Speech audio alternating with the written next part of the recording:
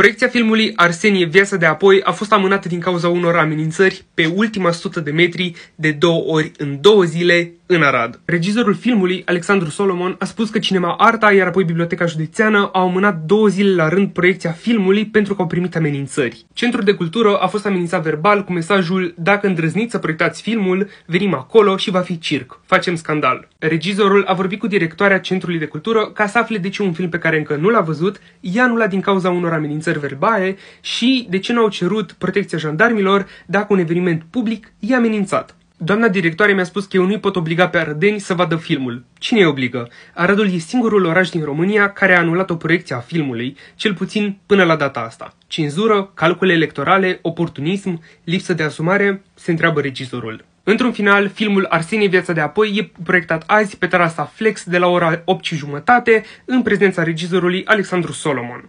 Filmul este despre Arsenie Boca și cum acesta și-a creat o imagine puternică între credincioși de când era în viață, care a continuat să crească după ce a murit.